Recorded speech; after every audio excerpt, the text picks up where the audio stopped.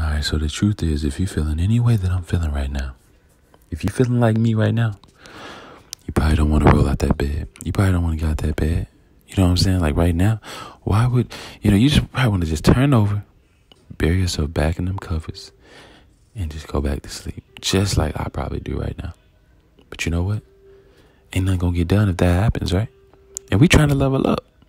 Whether it's your fitness journey, whether you're an entrepreneur like me, whether you want to get a promotion at the job. You get what I'm saying? So the only way it's gonna happen is getting out the bed. Sleep is good. I hope you got a good rest. Absolutely, but at the same time, we gotta get up and put that work in. You know what I'm saying? So think about your kids. Think about the Lord. Think about whatever it is you gotta think about to get up out of that bed, but do it. If not for yourself, then for others. We got this.